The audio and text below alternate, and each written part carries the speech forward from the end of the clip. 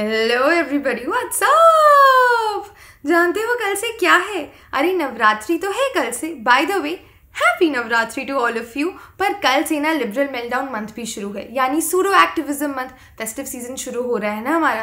वैसे तो हम श्योर अब तक आप सबको फेस्टिव सीज़न के प्रोपागैंडा का पूरा सिलेबस बहुत अच्छे से रट चुका होगा। पर मैंने सोचा आके थोड़ी रिविजन करा देते हैं आप लोगों की। सबसे पहले बात करते हैं नवरात्रि की।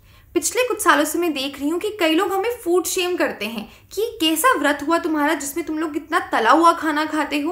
तो इन सब लोगों से मैं घुंघरू सेठ के स्टाइल में एक सवाल पूछना चाहूँगी। कुट्टू का आटा, तेल, कढ़ाई, आलू, साबुत दाना तेरा बाप यहाँ छोड़ के गया था या तेरी माँ?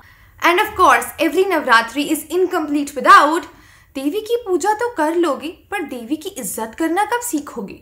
कुछ दरिंदे जो दुनिया की हर कम्युनिटी और रिलीजन में होते हैं, उनकी वजह से आपको और मेरे को देवी की पूजा नहीं करनी चाहिए। लॉजिक मत ढूंढो इनकी बात का, बस टिंग पॉपकॉर्न बन के इंजॉय करो। फिर आता है दशहरा। जिस दिन हमें बहुत बड़ा मॉरल साइंस का लेक्चर मिलता है कि रावण मत जलाओ सेल्फ रिफ्लेक्ट करो और अपने अंदर के रावण को जलाओ। अरे यार, दीदी, जितना लेक्चर आप देते हो ना, उतना सेल्फ रिफ्लेक्शन आपने कर लिया होता तो आपके अंदर से भी आवाज़ आ चुकी होती अब तक कि बेटा, बहुत बकवास हो गई, अब अपनी हिपोक्रेसी को जलाने का टाइम आ गया है। और वैसे अब तक मेरी बातों को सुन के आपकी नहीं जली तो आइए करवा चौथ की बात करते हैं। वो त्योहार जिस दिन बैठ के कुछ लोग डिसाइड करते हैं, कौन सी लड़कियाँ फेमिनिस्ट हैं और कौन सी नहीं। जिस लड़की ने अपनी मर्ज़ी से फास्ट कर लिया, सुंदर सूट, साड़ी पहन के सोशल मीडिया पे फ़ोटो डाली, वो लड़की रिग्रेसिव और पेट्रियाकल होने के चक्कर में फेमिनिज्म के ग्रुप से बाहर। वैसे बाहर तो शायद आपको उन लोगों को करना चाहिए था जिन्होंने अफ़गानिस्तान में औरतों पे होने वाले जुल्म पे अपनी आवाज़ नहीं उठाई थी। खैर छोड़ो, करवा चौथ के बाद आता है धनतेरस। और इस त्यौहार के बारे में मैं ज़्यादा कुछ नहीं बोलूँगी, क्योंकि इस त्यौहार को समझना कम्युनिस्ट लोगों के दिल, दिमाग और बजट तीनों के बाहर है। अब बात करते हैं हमारे पॉलिटिशियंस के फेवरेट फेस्टिवल दिवाली के बारे में।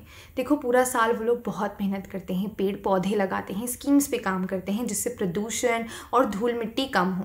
तो अगर वो कहते हैं कि साल में एक बार अब दिवाली वाले दिन, पटाखे नहीं जला सकते तो मैं कहती हूँ, उनके नाम की भी एक दो लड़कियाँ लगा दिया करो। यार, कोई टेंशन ही नहीं है। कर्जा थोड़ा देने हमने किसी का? मतलब उनको पता चलना चाहिए कि हिंदुस्तान की जनता का दिल कितना बड़ा है।